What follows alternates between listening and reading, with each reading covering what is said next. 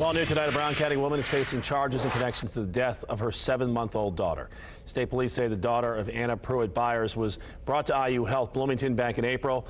A relative of the baby tells News 8 her name was Michelle Dawn Vermaat. Documents show Michelle had massive hemorrhaging in her retina, nerve tissue, and at the base of her brain.